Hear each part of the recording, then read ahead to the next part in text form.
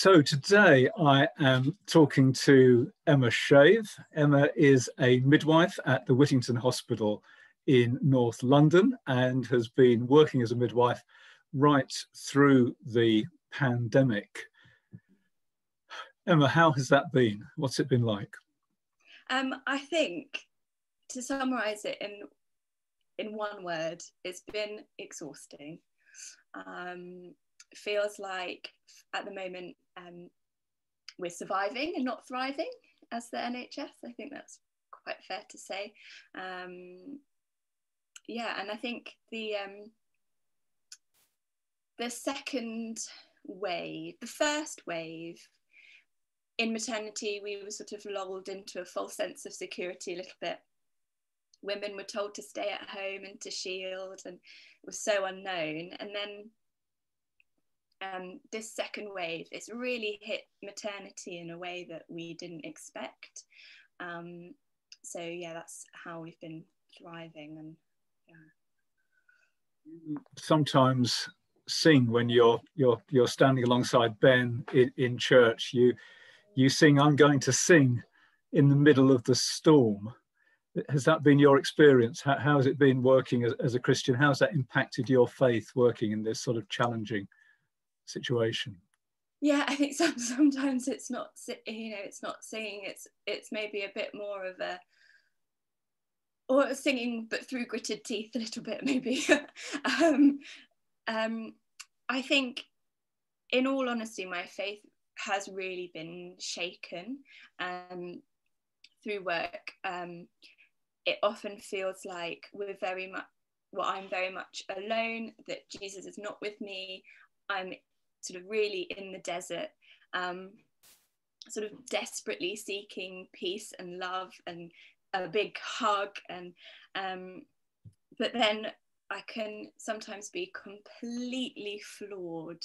Um, often when I'm doing the washing up at home, listening to worship music, and actually then I'm reminded that Jesus is with me in that desert place. Um, it's often very soggy face afterwards. Um, um, yeah, it's like desperately clinging on um, to that embrace. I have to remember that feeling when I'm at work.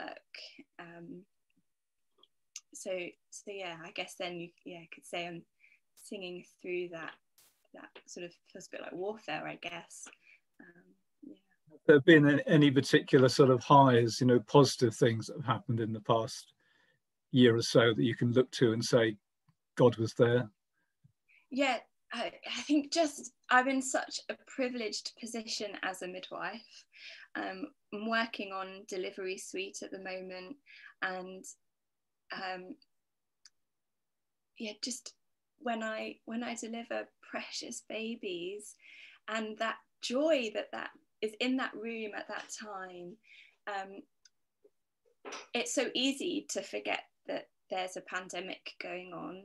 Um, you know, behind all the PPE, we're you know we're so joyful, um, and that's been yeah, that's been that's been really lovely. And low points looking back over the past year.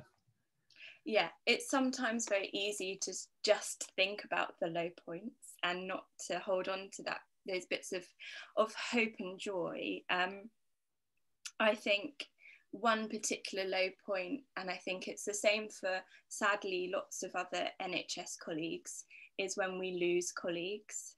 Um, one of our dear midwives, she passed away really unexpectedly over Christmas. Um, and that's been really hard for our, our unit. Um, and it's, it's shifted the atmosphere from togetherness to an atmosphere of fear. Um, because it can take you um, so unexpectedly. Um, so I think that's definitely been um, a big low, and and I think also how often how COVID impacts maternity and pregnant women has not really been reflected in the media very much. Um, but we've looked after some incredibly unwell women and that's been really sad. Um, but then they become well and you go back to that moment of joy. Um, so it's such a roller coaster.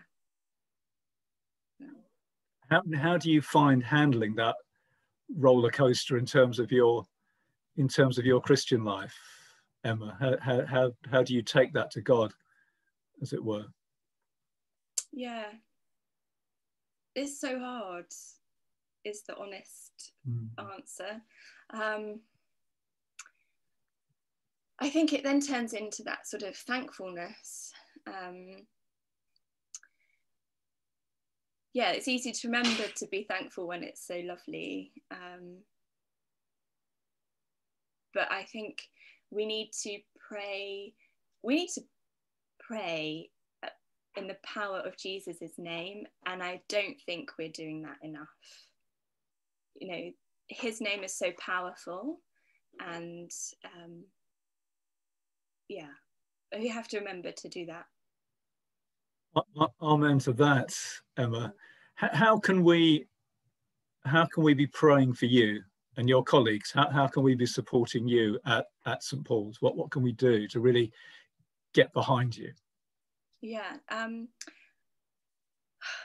uh, pray for continued protection um, for ourselves and for for the NHS. Um, it's a hard place to work regardless of of a pandemic.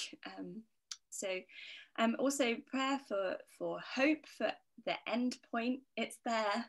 Um, we just need to keep going. Um, and um, also there's a real issue um, with NHS stuff about sleep um, at the moment, and we all need to sleep really well. Um, lots of colleagues have been having bizarre dreams as well. Um, so, prayer for, for peace in our sleep um, would be would be great. Um, yeah, and stick to those rules. Oh, Emma, thank you very much. And, and, you know, on behalf of the whole congregation, I think we'd want to say thank you for all that you're doing for all the amazing NHS is doing at this time. Uh, we will continue to pray for you and support you.